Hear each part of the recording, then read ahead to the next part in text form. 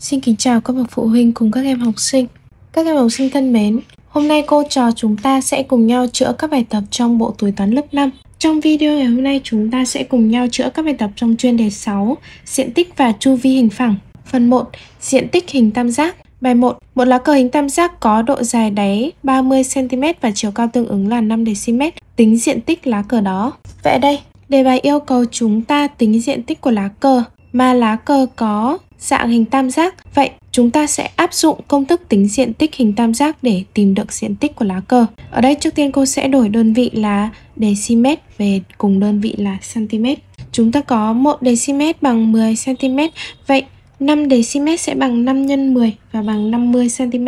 Tiếp theo chúng ta sẽ đi tìm diện tích của lá cờ hình tam giác đó là để tính diện tích hình tam giác, chúng ta sẽ lấy độ dài cạnh đáy nhân với chiều cao tương ứng và chia 2. Ở đây độ dài cạnh đáy chúng ta có là 30cm. Chúng ta nhân với chiều cao tương ứng ở đây là 5dm hay đó chính là 50cm và chia cho 2. Ở đây cô thu được kết quả là 750cm vuông. Vậy diện tích của lá cờ đó là 750cm vuông. Đáp số 750cm vuông. Bài 2. Một vườn hoa hình tam giác có diện tích bằng 1550 m2, chiều cao bằng 50 m. Hỏi độ dài đáy của vườn hoa đó là bao nhiêu mét? Vậy đây chúng ta có diện tích của hình tam giác sẽ được tính bằng công thức độ dài đáy nhân với chiều cao tương ứng và chia cho 2. Và đây chúng ta có là diện tích của hình tam giác. Vậy ở đây đề bài hỏi chúng ta độ dài cạnh đáy Vậy để tính được độ dài cạnh đáy, chúng ta sẽ lấy diện tích nhân cho 2 và chia cho chiều cao. Vậy đây cô sẽ có độ dài cạnh đáy của vườn hoa đó là, chúng ta sẽ lấy diện tích nhân cho 2. Diện tích nhân cho 2 chính là 1550 nhân 2 và chia cho độ dài cạnh đáy. Độ dài cạnh đáy ở đây là 50. Ở đây cô thu được kết quả là 62 m. Vậy độ dài cạnh đáy của vườn hoa đó là 62 m. Đáp số 62 m. Chúng ta tiếp tục với bài 3. Nam cắt 4 hình tam giác có kích thước như nhau và ghép thành hình chiếc thuyền có diện tích bằng 30 cm vuông như hình vẽ. Tính chiều cao của mỗi hình tam giác. Vậy ở đây chúng ta có để tính chiều cao của một hình tam giác, chúng ta sẽ lấy diện tích nhân cho 2 và chia cho độ dài cạnh đáy. Vậy đây trước tiên cô sẽ đi tìm diện tích của một hình tam giác là bao nhiêu. Chúng ta có diện tích của một hình tam giác sẽ là ở đây chúng ta có nam cắt bốn hình tam giác có kích thước như nhau và tổng diện tích của bốn hình chính là diện tích của chiếc thuyền hay đó chính là 30 cm vuông. Vậy diện tích của một hình tam giác sẽ là 30 cm vuông chia cho 4 và đây chính là 7,5 cm vuông. Tiếp theo, để tính chiều cao của hình tam giác theo yêu cầu chúng ta sẽ lấy diện tích nhân 2 và chia cho độ dài đáy. Vậy cô có chiều cao của mỗi hình tam giác là chiều cao của mỗi hình tam giác sẽ là cô sẽ lấy diện tích của một hình tam giác nhân với 2 và chia cho độ dài đáy. Diện tích ở đây chính là 7,5. 7,5 nhân 2 chia cho độ dài đáy ở đây đề bài cho chúng ta. Độ dài đáy của một hình tam giác là 6 cm. Chiều cao ở đây chính là 6 cm. Và đây cô thu được kết quả là 2,5 cm. Vậy chiều cao của mỗi hình tam giác sẽ là 2,5 cm. Đáp số 2,5 cm. Chúng ta tiếp tục với bài 4. Anh Sơn là một chiếc eke bằng gỗ có kích thước như hình vẽ. Biết phần rỗng của eke có diện tích là 306,25 cm vuông. Hỏi diện tích phần gỗ anh Sơn dùng làm eke bằng bao nhiêu cm vuông? Vậy đây chúng ta thấy diện tích phần gỗ mà anh Sơn dùng để làm eke chính là phần diện tích được tô màu xanh. Vậy phần diện tích được tô màu xanh này sẽ được tính bằng diện tích của hình tam giác có cạnh đáy là 4 dm và chiều cao là 4 dm trừ cho diện tích phần tam giác rỗng ở bên trong. Vậy trước tiên cô sẽ đi tìm diện tích hình tam giác lớn, tức là hình tam giác bao gồm cả phần rỗng ở bên trong. Vậy cô có tổng diện tích chiếc ek và phần rỗng ở bên trong là tổng diện tích ek và phần rỗng bên trong chính là diện tích của hình tam giác có chiều cao là 4 dm và độ dài cạnh đáy là 4 dm. Vậy ở đây chúng ta sẽ lấy độ dài cạnh đáy nhân với chiều cao tương ứng và chia 2, đó là 4 nhân 4 và chia cho 2. Cô thu được kết quả là 8 dm vuông. Tiếp theo chúng ta sẽ đi tìm diện tích phần gỗ anh Sơn dùng để làm eke. Và đây chúng ta có đề bài hỏi diện tích phần gỗ là bao nhiêu cm vuông. Vậy trước tiên cô sẽ đổi đơn vị dm vuông về đơn vị đo là cm vuông. Chúng ta có đổi 8 dm vuông. 1 dm vuông sẽ bằng 100 cm vuông, vậy 8 dm vuông sẽ bằng 8 nhân với 100 cm vuông và bằng 800 cm vuông. Vậy diện tích phần gỗ anh Sơn dùng để làm eke là? Chúng ta sẽ lấy tổng diện tích phần rỗng và eke là 800 cm vuông. Trừ cho phần diện tích rỗng là 306,25 cm vuông. Và đây cô thu được kết quả là 493,75 đơn vị là cm vuông Vậy diện tích gỗ anh Sơn dùng để làm eke là 493,75 cm vuông. Đáp số 493,75 cm vuông. Bài 5. Trên bức tường phòng khách có diện tích 12 m vuông. Cô Hoa trang trí ba bức tranh hình tam giác có kích thước như nhau. Biết mỗi bức tranh có độ dài đáy bằng 0,6 m và chiều cao bằng 0,51 m. Tính diện tích phần còn lại của bức tường đó. Vậy đây chúng ta thấy diện tích phần còn lại của bức tường chính là bằng tổng diện tích của bức tường trừ cho diện tích của ba bức tranh. Về đây, chúng ta sẽ đi tìm tổng diện tích của ở đây đề bài đã cho chúng ta diện tích của bức tường. Vậy chúng ta cần phải đi tìm tổng diện tích của ba bức tranh là bao nhiêu. Đề bài cho biết mỗi bức tranh có độ dài đáy bằng 0,6m và chiều cao bằng 0,51m. Vậy chúng ta sẽ đi tìm diện tích của một bức tranh, sau đó nhân với 3 để tìm được tổng diện tích của ba bức tranh. Vậy trước tiên cô sẽ có diện tích của một bức tranh hình tam giác là ở đây chúng ta có diện tích của hình tam giác sẽ được tính bằng độ dài cạnh đáy nhân với chiều cao tương ứng và chia cho 2. vậy đây sẽ là 0,6 nhân với chiều cao là 0,51 và chia cho 2. Cô thu được kết quả là 0,153, đơn vị là mét vuông. Vậy, một bức tranh có diện tích là 0,153 mét vuông. Vậy chúng ta sẽ đi tìm tổng diện tích của ba bức tranh sẽ là tổng diện tích của ba bức tranh sẽ bằng diện tích của mỗi bức tranh nhân với 3.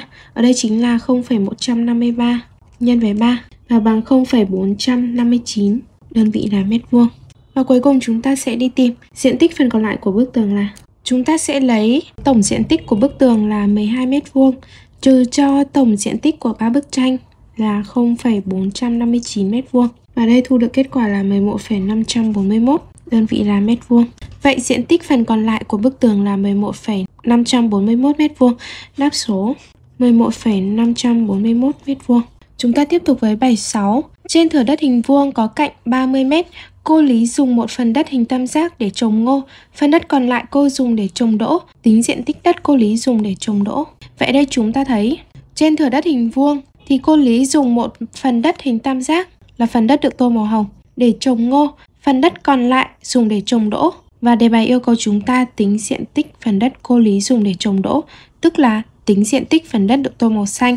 Vậy ở đây chúng ta thấy diện tích phần đất được tô màu xanh sẽ bằng tổng diện tích của thửa đất trừ cho diện tích phần đất hình tam giác này hay đây chính là trừ cho diện tích đất trồng ngô. Vậy trước tiên chúng ta sẽ đi tìm tổng diện tích của thửa đất hình vuông là bao nhiêu? Chúng ta có diện tích của thửa đất hình vuông là ở đây chúng ta có thửa đất hình vuông có cạnh 30 m Vậy diện tích của thửa đất sẽ là 30 nhân với 30, độ dài cạnh nhân với độ dài cạnh và bằng 900 m vuông.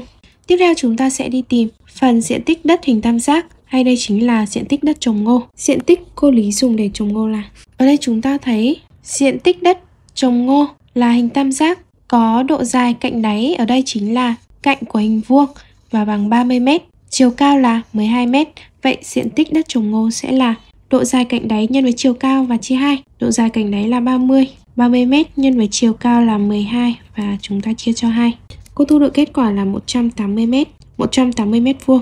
Vậy diện tích đất cô Lý dùng để trồng đỗ là diện tích đất trồng đỗ sẽ bằng tổng diện tích đất, tổng diện tích của thửa đất hình vuông là 900m vuông. Trừ cho diện tích đất trồng ngô chúng ta vừa tìm được là 180m vuông. Và đây sẽ bằng 720m vuông. Vậy diện tích đất trồng đỗ là 720m2, đáp số 720m2. Chúng ta tiếp tục với bài 7. Trong một hình tam giác có độ dài đáy bằng 15cm, biết nếu độ dài đáy giảm 2cm và chiều cao không đổi, thì diện tích hình tam giác giảm 10cm vuông. Tính diện tích hình tam giác đó nếu chiều cao của hình tam giác tăng thêm 2cm và độ dài cạnh đáy không đổi. Vậy đây chúng ta có đề bài cho một hình tam giác Đề bài cho một hình tam giác có độ dài cạnh đáy bằng 15cm, cô sẽ vẽ tượng trưng một hình tam giác. Một hình tam giác có độ dài cạnh đáy là 15cm. Nếu độ dài đáy giảm 2cm và chiều cao không đổi, thì diện tích tam giác giảm 10cm. Và đây cô sẽ giảm cạnh đáy 2cm. Và đây chúng ta có, đoạn này sẽ là giảm đi 2cm. Và chiều cao không đổi. Chiều cao không đổi tức là cô sẽ giữ nguyên chiều cao. Ở đây cô có chiều cao ban đầu chiều cao không đổi thì diện tích hình tam giác giảm 10 cm. Vậy ở đây chúng ta thấy diện tích hình tam giác giảm đi 10 cm vuông. Chiều cao không đổi thì diện tích tam giác giảm đi 10 cm vuông. Vậy đây chúng ta thấy diện tích tam giác giảm đi 10 cm vuông. Vậy ở đây phần ở đây chúng ta thấy phần tô màu này chính là phần diện tích tam giác bị giảm đi và phần hình tam giác giảm đi này có diện tích là 10 cm vuông. Đề bài yêu cầu chúng ta tính diện tích hình tam giác đó nếu chiều cao tăng thêm 2 cm và độ dài đáy không đổi. Về đây để tính được diện tích hình tam giác mới thì chúng ta sẽ đi tìm chiều cao ban đầu, sau đó cộng thêm 2 cm để tìm chiều cao mới và cuối cùng là tính diện tích tam giác mới. Vậy ở đây cô có diện tích tam giác mới, tức là diện tích hình tam giác mà đề bài yêu cầu chúng ta tìm sẽ bằng chiều cao mới nhân với độ dài cạnh đáy và chia cho 2. Vậy ở đây chúng ta cần phải biết chiều cao mới là bao nhiêu. Chúng ta sẽ tìm chiều cao mới. Và đây chúng ta có chiều cao của hình tam giác tăng thêm 2 cm, tức là chiều cao mới sẽ bằng chiều cao mới sẽ bằng chiều cao ban đầu. Chiều cao ban đầu cộng cho 2 cm. Vậy ở đây chúng ta sẽ đi tìm chiều cao ban đầu là bao nhiêu? Vậy trước tiên cô sẽ đi tìm chiều cao ban đầu của hình tam giác. Chiều cao ban đầu của hình tam giác là ở đây chúng ta thấy đề bài cho biết, nếu giảm cạnh đáy đi 2 cm thì diện tích tam giác giảm đi 10 cm vuông. Và diện tích tam giác giảm đi đó chính là một hình tam giác có độ dài cạnh đáy là 2 cm và diện tích là 10 cm vuông. Vậy chúng ta sẽ tìm được chiều cao của phần hình tam giác giảm đi này. Và đây chúng ta thấy chiều cao của phần hình tam giác giảm đi, tức là chiều cao của phần hình tam giác tô màu này cũng là chiều cao của hình tam giác ban đầu. Vậy để tìm chiều cao ban đầu, chúng ta sẽ quy về đi tìm chiều cao của hình tam giác tô màu này. Vậy đây cô sẽ có phần hình tam giác tô màu này có độ dài cạnh đáy là 2cm và diện tích là 10cm vuông. Vậy chiều cao của nó hay đó cũng chính là chiều cao của tam giác ban đầu sẽ bằng diện tích nhân với 2 và chia cho độ dài cạnh đáy. Ở đây chính là 10 nhân 2 và chia cho 2 và bằng 10 cm. Vậy chúng ta đã có chiều cao ban đầu là 10 cm. Tiếp theo chúng ta sẽ đi tìm chiều cao mới. Cô sẽ có chiều cao mới hay đó chính là chiều cao ban đầu cộng cho 2 cm. Chiều cao mới của hình tam giác là chúng ta sẽ lấy chiều cao ban đầu cộng cho 2 cm, tức là 10 cộng với 2 và bằng 12 cm. Vậy ở đây chúng ta đã có chiều cao mới là 12 cm. Vậy sau khi có chiều cao mới, chúng ta sẽ đi tìm được diện tích mới theo yêu cầu của đề bài. Vậy, diện tích mới của hình tam giác, đó chính là bằng diện tích mới hay đó chính là diện tích khi tăng chiều cao thêm 2 cm và độ dài đáy không đổi. Vậy chúng ta có diện tích mới của hình tam giác là, chúng ta sẽ lấy chiều cao mới là 12 nhân với độ dài cạnh đáy ban đầu, bởi vì ở đây độ dài cạnh đáy không đổi. Độ dài cạnh đáy ban đầu là 15 cm. Độ dài cạnh đáy nhân với chiều cao tương ứng và chia cho 2. Chúng ta được kết quả là 90 cm vuông. Vậy diện tích mới của hình tam giác đó là 90 cm vuông. Đáp số 90 cm vuông. Các em học sinh thân mến, như vậy cô đã hướng dẫn các em chữa xong dạng 1 diện tích hình tam giác. Ở trong video lần sau, cô sẽ tiếp tục hướng dẫn các em chữa bài tập từ luyện của dạng 1. Cô xin chào và hẹn gặp lại các em ở trong video lần sau.